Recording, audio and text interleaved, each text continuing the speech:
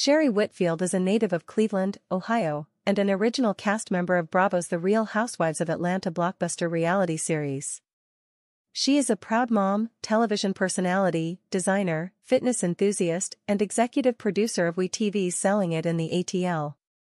Born January 2, 1970, age 54 years, Shaker Heights, Ohio, United States.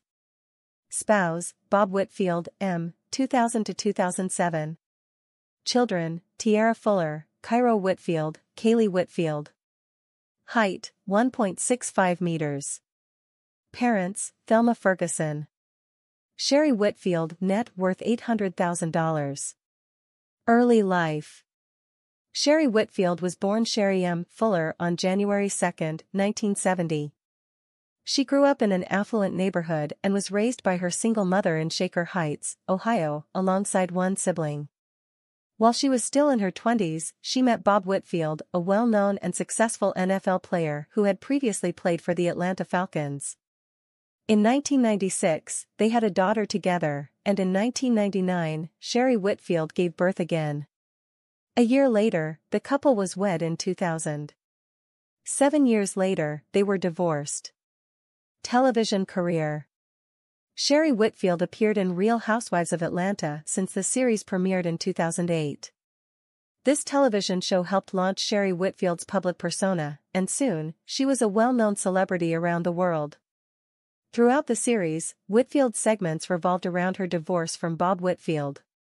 The audience could easily see that she was in a high-stress situation, and she often struggled to keep her emotions in check. That being said, the show also focused on everyday aspects of Whitfield's life, such as how she experienced raising her children as a single mom. The end of the fourth season of Real Housewives of Atlanta marked Shereé Whitfield's last appearance on the show until seasons 9 and 10, where she made a comeback and finished the series off. Her return to the series for its final two seasons was not a coincidence. Since her departure, a number of fans have expressed their desire to see Shereé Whitfield in the show once more. Bringing her back was a calculated decision by the show's executives. During the show, it was also revealed that Shereé had a daughter from before she knew her ex-husband. At first, she was embarrassed to reveal this fact, as it proves that she was once a teenage mother.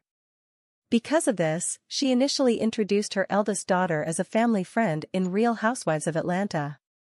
Outside of the Real Housewives of Atlanta, Shereé Whitfield has also appeared in a range of other television shows. She has appeared a total of 11 times on Watch What Happens Live with Andy Cohen.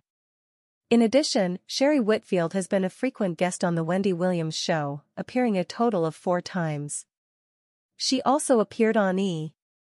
News Live, Life After, Iyanla, Fix My Life, The Game, Ghost Hunters, The Bonnie Hunt Show, and The Ellen DeGeneres Show. In 2010, she appeared on Who Wants to Be a Millionaire as a celebrity guest question presenter. In addition, Shereé Whitfield had a short cameo in Scary Movie 5. After The Real Housewives of Atlanta, she identified acting as a potential future career path and worked with acting coach Kristen Shaw to improve her craft. Shereé Whitfield also earned credits behind the camera as she was an executive producer for the show Selling It in Atlanta.